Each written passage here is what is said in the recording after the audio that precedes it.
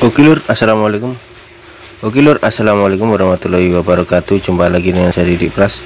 Di video kali ini kita akan membahas atau berbagi tips ya. Ini kebetulan saya sedang memperbaiki Magicom ya. Sore tadi ada Magicom yang diantar ke sini, yang kata pemiliknya sering apa ya berair ya atasnya berair dan sehingga menyebabkan tidak enak ini kalau berair atasnya itu teman-teman langsung menuju ke bagian sini saja.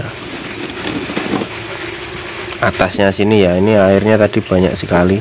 Sampai ke dalam-dalam sana. Nah air ini banyak sekali tidak bisa menguap karena elemen yang di sini putus teman-teman. Jadi elemennya ini putus. Ini ada elemennya ya terus ada kabelnya yang ke bawah. Ini putus ya langsung kalian cek saja. E, catatan Magicom dinyalakan normal dan tidak ada masalah ya. Maksudnya dalam artian lampu lednya normal terus dipencet ya panas. Tapi bagian atas sini diraba tidak hangat ya. Kalian raba kalau tidak hangat yaitu kalian perlu cek di bagian elemen ini yang sering saya temukan elemen di bagian sini itu putus teman-teman.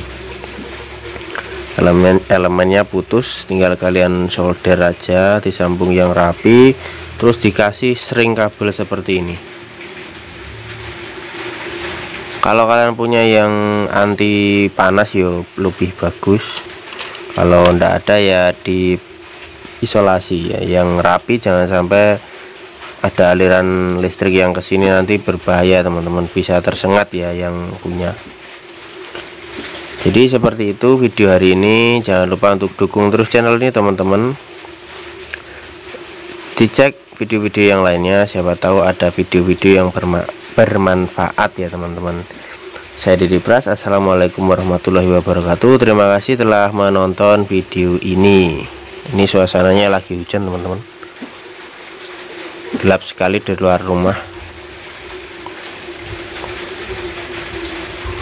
Dadah sampai ketemu di video selanjutnya. Jangan lupa untuk di subscribe ya teman-teman